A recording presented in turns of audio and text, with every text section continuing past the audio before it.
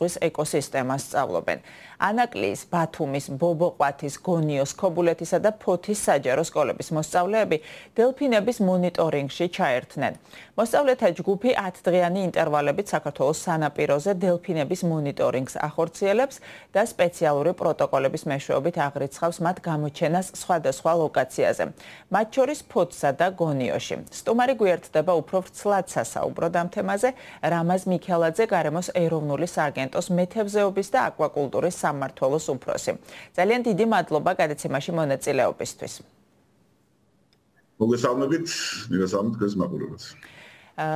ბატონო რამაზ, მინდა გკითხოთ მოსწავლეების აქტივობების შესახებ. თავიდან თავდაპირველად რა იყო მიზანი, რომ მოსწავლეები ამ პროცესში ჩართულიყვნენ და კონკრეტულად რა საკეთებენ ბავშვები? Ну დიდი ხანია გრძელდება უკვე პროექტი. ემბლასი უბრალოდ ერთი რამ მინდა ვთქვა რომ უკრაინის ომმა შეუშალა ხელი მის სამეცნიერო კვლევითი ასე თქვა ნაწილის განხორციელებას გესმით ალბათ რომ 2018 წელს ვიყავით ბოლოს და კვლევები ქონდა შავზღვაში ერთობლივი საერთაშორისო. და მას შემდეგ უბრალოდ დაგჭა ხოთ ერთ სეგმენტი ახალგაზრდა მუშაობის სეგმენტი, რატო ბავშვებთან მათ შორის, რატო ეს მნიშვნელოვანი მინდა რიგში ამას გავუსვა ხაზი, ის რომ ჩვენ ახალგაზრდა ქვეყანა ვართ, ძალიან სერიოზული დეფიციტი გვაქვს, მოდი ასე ვთქვათ, მაღალკვალიფიციური სპეციალისტების, ჰიდრობიოლოგიის და ჰიდროლოგიის მიმართულების, თუნდაც იქიდოლოგიის მიმართულებით, ამიტომ ამ საკითხებს აქტუალიზაცია ეხლა თუ არ მოახდინეთ სკოლის მოსწავლეებთან, მომავალში ჩვენ დაინტერესებულ ბავშვებს ვერ მივიღებთ იმისათვის რომ უმაღლეს განათლების უმაღლეს განათლების თქვა დაწესებულებში შესაბამისი კონტინგენტი მოხდეს და შემდგომში ჩვენ მივიღოთ მაღალკვალიფიციური სპეციალისტები. და ამიტომაც ერთგვარად გარემოსდაცვითი პრობლემების პოპულარიზაციასთან ერთად ამას აქვს ძალიან მნიშვნელოვანი საკრემანტო საქმიანობა და ინტერესის აღძვრის ასე თქვა ფუნქცია. იმ ხრივ რომ ჩვენ ბავშვები ეხლავე თუ მათ ჩავაბამთ ტრანზიტული საქმიანობაში და მით ხაზი გავუსვა რომ ეს მიუხედავად იმისა, რომ იდეა გქონდა მხოლოდ ბავშვები გაცნობოდნენ ამას, აღმოჩნდა, რომ საკმაოდ კარგი ვარიანტი მოვიფიქრეთ ქსელის, რომ ჩვენ შეგვიძლია მაღალკვალიფიციური ინფორმაცია მივიღოთ სამეცნიერო კვლევითი მათ შორის ბავშვების ჩართულობის. ანუ ჩვენ გავშალეთ საკმაოდ დიდი პარტობი და ვთვითეთ იმით, რომ ამ სკოლები ეს სკოლები ყოველ ადრესში მოგვასწრიან ჩვენ დადგენილი მეთოდოლოგიით, რომელიც ევროკავშირის დადგენილი მეთოდოლოგია, 1 საათიანი მეთვალყურების ფონზე მოგვასწრიან დელფინების შესახებ ინფორმაციას. რა ინფორმაცია ესაა? რაოდენობა მათი და მრავალსახეობა. ანუ ბავშვები გაეცნენ უკვე რა სახეობის დელფინებია ყავს ჩვენთან, მათ ბიოლოგიურ მახასიათებლებს გააჩნიათ და ასე შემდეგ.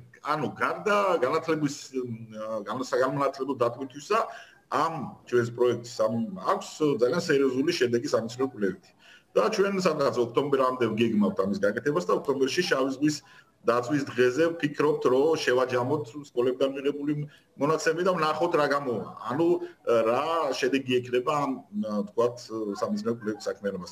საკუთრივ ძალიან დაინტერესებული არიან მოსწავლეები და მნიშვნელოვანი რა იცით ძალიან უხარია თამაშ ჩართულობა და ხედავენ აი ამის ყველაფრის მნიშვნელობას და შესაძლებელია ჩვენ ესეთი ნიუსები მივიღოთ სხვადასხვა ადგილი და ლოკაციიდან. ანუ აქ საუბარი არის გონიო, ბათუმი, ქობულეთი, ბობოყვათი, ფოთი, ანაკლია.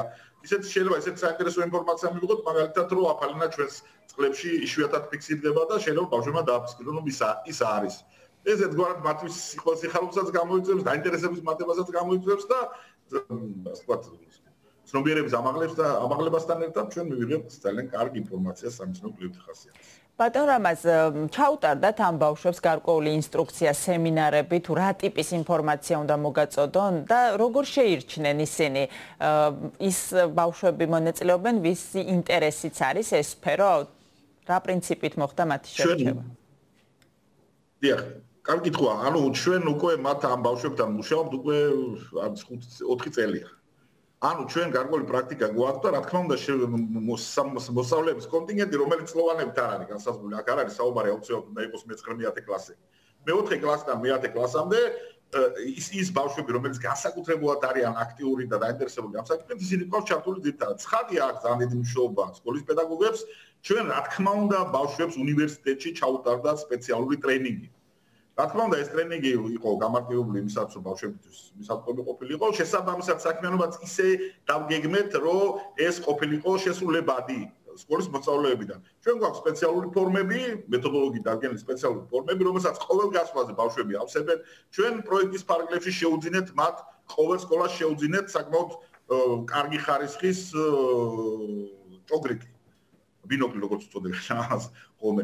ჭოგრიტი და ამ ჭოგრიტს ეს გადავეცი სკოლებს უკვე. საჩუქრად ეს ჭოგრიტი მათ დარჩება თუ მათ მოისურვებენ შემდგომში ასე ვთქვათ გააგრძელებენ ამ საქმიანობას ან გამოიყენებენ რომელიმე შემეცნების სხვა მარტულების კუთხით. ანუ ჩვენ ამას ყველაფერს ვაკეთებთ მეთოდოლოგიის გათვალისწინებით თქვენ გადაცემის დასაწყისში აღნიშნეთ, რომ დეფიციტია ასეთი კადრების ბაზარზე და გინდათ რომ ბავშვებს თავიდანვე მიაწოდოთ ინფორმაცია ამ პროფესიების შესახებ. თქვენი შეფასებით რა არის ამის მიზეზი?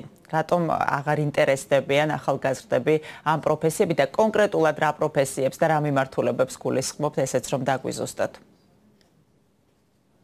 შეხედეთ, აი ზღვა, ბევრს გონია რომ ზღვაში არის მხოლოდ თევზი.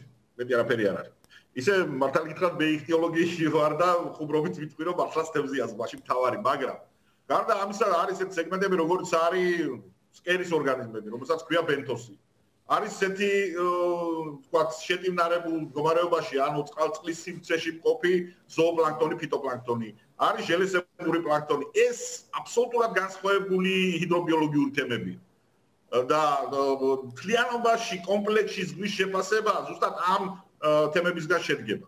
ჩვენ ახლა გარემოსენულ სააგენტოში უკვე ახალგაზრდები მოყავს და ვცდილობთ რომ ახალგაზრდა მეცნიერები გამოვიყენოთ და მომავალში მათგან გაიზარდონ უფრო მაღალი აკადემიური აღკვეთ შესაძლებლობის მქონე პირები. ჩვენ გვაქვს ძალიან კარგი ურთიერთობა საერთაშორისო დონეზე, მონაწილეობთ ხშირად ტრენინგებში და ვცდილობთ, მაგრამ ჩვენ ვითარდებით და კადრების დეფიციტი, ახალგაზრდების დეფიციტი გვექნება აუცილებლად გვაქვს და გვექნება კიდეც განსაკუთრებით ისეთი ახალგაზრდების რომელიც არის განსაკუთრებულად მოტივირებული არიან სპეციალურ მოდი ასე ვთქვათ უნარების მქონე ამ მიმართულებით და აი ჩემს მაგალითს მოგყვათ რაც ისეთ ცოტა ბანალურად ვიტყვი ახლა ბავშვებთან აკვარიუმი მიყვარ მიყვარ და შემდეგ სკოლის მეხიდან მოვედი მეურნეობაში თემის მეურნეობაში სამუშაოდ მე წავედი ვისწავლე და ასე შემდეგ. ანუ ეს არის ძალიან სპეციფიკური დარგი. თუ არა აქვს ბავშვს განსაკუთრებული მოდგომები მომდომება ამ დარგის მიმართ ის ვერ გამოვა კარგი სპეციალისტები და ჩვენ ჭირდება კარგი ჩვენ არ ჭირდება საშუალო ხარისხის სპეციალისტები ჩვენ გვინდა მომდომებული ანთებული ასე ვთქვათ სპეციალისტები რომელიც ამ სიმცირით რა ჩვენ გვაქვს და იმ მასშტაბით რა ჩვენ გვაქვს ზღვაზე გასავლელი ანუ ჩვენ საზღვაო ქვეყანა ვართ და მოაში საუბარი არის მარიკულტურის განვითარებაზე აკვაკულტურის განვითარებაზე რომელსაც ჯერ ჩვენ სრულყოფილად ვერ ვიყენებთ და ამას ყველაფერს ჭირდება აუცილებლად კადრები და კიდევ ერთხელ ვამბობთ რესურსების გამოყენება ზღვი გადის მათი შეფასების შესაძლებლობებზე.